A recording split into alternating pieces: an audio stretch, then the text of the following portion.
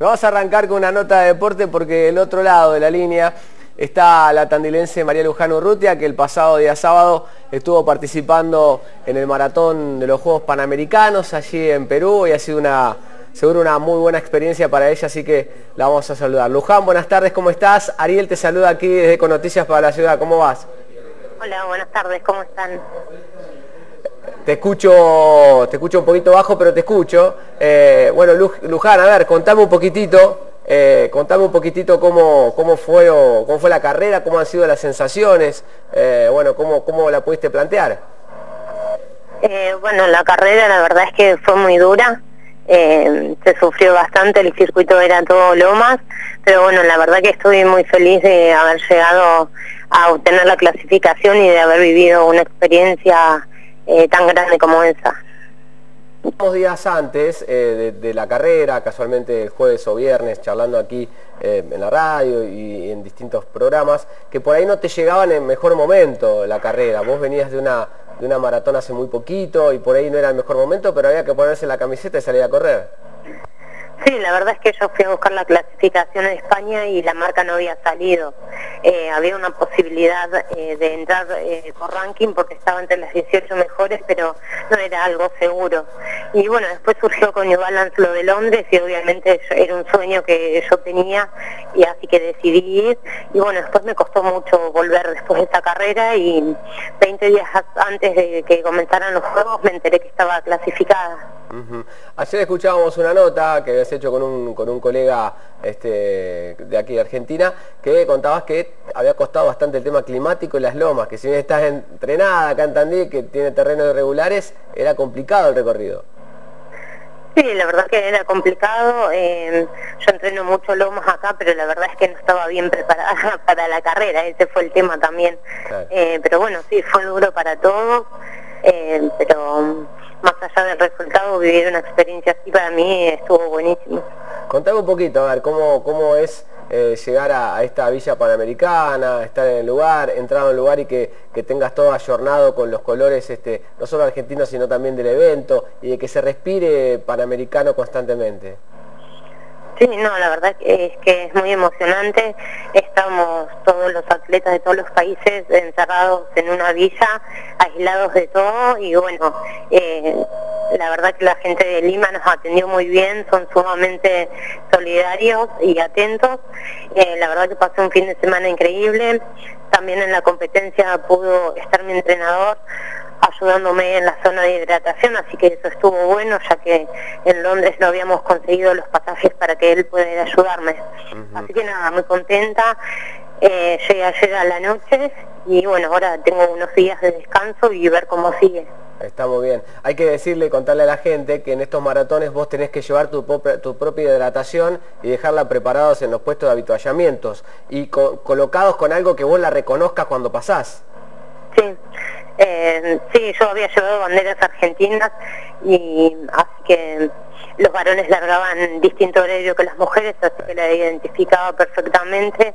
Ahí ponemos eh, las sales de hidratación y los geles que también son importantes. Está muy se entrega la noche anterior y bueno, ese día lo único que tomás es eso y no molestas a, a los puestos de agua de la demás gente. Claro. ¿Cómo, fue también la experiencia? Digamos, eh, seguramente charlaste mucho, con, tanto con el Colo, eh, Mariano Mastromarino, como con Miguelito Bárzola. ¿Cómo se sintieron los tres y cómo pudieron, este, bueno, cómo han terminado? No, la verdad que fue increíble compartirlo con ellos. Bueno, ellos ya tienen mundiales, panamericanos, Juegos Olímpicos, o sea, eh, tienen mucha experiencia. La verdad que me contuvieron un montón, yo estaba muy nerviosa, eh, me aconsejaban y nada, pasé un fin de semana increíble con ellos. Eh, los admiro como atleta, así que poder estar al nivel de ellos y con ellos fue muy bueno y porque aprendí muchísimo. Está muy bien. Luján, ahora, Nueva York, ¿qué, qué es lo que sigue? Sí, la gente de New Balance me ofreció ir a Nueva York. Eh, voy a ver cómo me recupero de esta maratón, que quedé bastante golpeada. Eh, así que bueno. ¿Cuándo es, la, ¿Cuándo es la carrera? Eh, en octubre creo. Claro, pues ahí se te junta mucho, ¿no? Pues metiste dos maratones en un mes y pico y ahora llegar a octubre vas a llegar medio justito. Sí, corrí Valencia, Londres y Panamericano, es como mucho.